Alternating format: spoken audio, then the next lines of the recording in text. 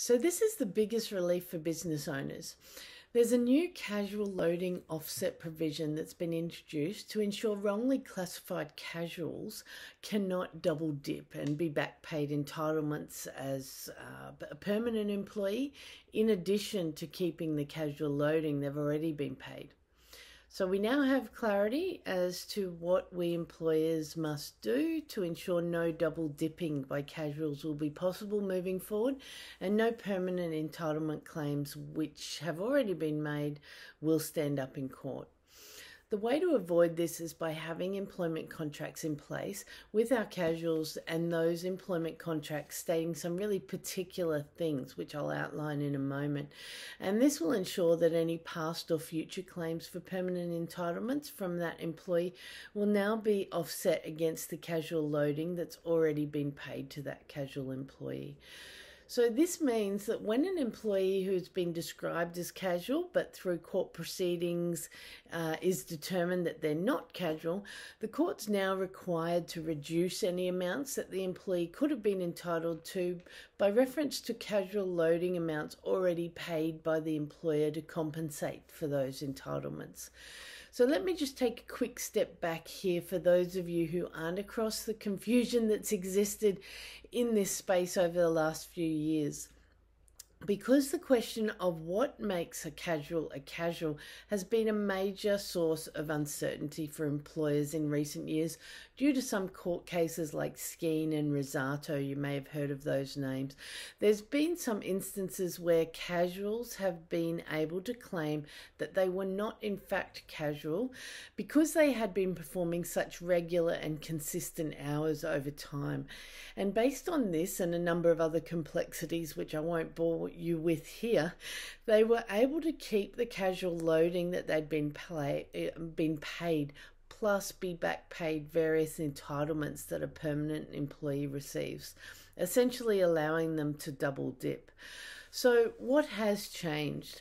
So, now employees whose employment contract states that they are casual and states that their casual loading is a separate identifiable amount will remain so when they're accepted when when they accepted the offer of employment they were not committed to work in advance. This is now, regardless of whether the casual employee goes on to perform regular and consistent hours. In other words, regular and systematic casual employment will not of itself imply permanency. This means we now have a way to avoid wrongly classified casuals from double dipping and being back paid permanently, permanent entitlements, as well as getting to keep that casual loading they've been paid. So here's the important part. You will only be able to avoid the double dipping situation where the employment contract states that the casual loading is a separate identifiable amount paid in compensation for the employee not having at least one or more of the following entitlements paid leave, sorry, paid annual leave, paid personal carers leave, paid compassionate leave, payment for absence on a public holiday payment in lieu of notice of termination, or payment of redundancy pay. I'm also recommending to our clients that they also include the proportion of the loading amount attributable to each such entitlement. So if you don't know these amounts, we can help you out with that. So, what to do now? There are two things you need to do to be able to access this new casual loading offset provision and avoid an incorrectly classified casual being able to claim permanent entitlements in the future. The first one is give casuals, existing and future, a copy of the casual employment information statement, which we talked about in a previous video. So just like you've already been giving the uh, your employees the fair work information statement, now you give the casuals the casual employment information statement as well. The second thing you need to do is put this new casual loading offset provision into your employment contracts or enterprise agreement ASAP to avoid double dipping.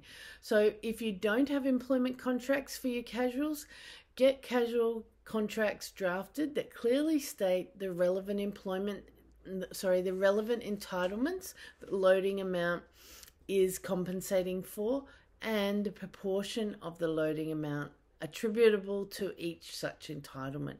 If you do already have employment contracts for your casuals, a couple of things to do. Check if their employment contract actually states somewhere the relevant entitlements the loading amount is compensating for and the proportion of the loading amount attributable to each such entitlement. And if you don't, then draft up an amendment or uh, variation and have the employee sign it.